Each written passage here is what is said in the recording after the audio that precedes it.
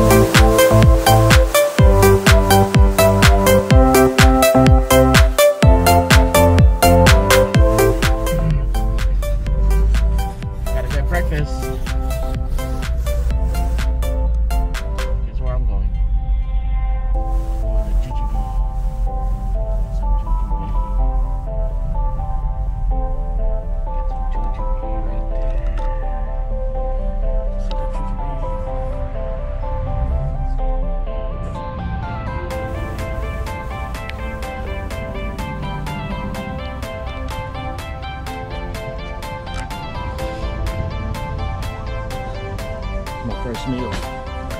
Corned beef. Okay, time to go to Reno.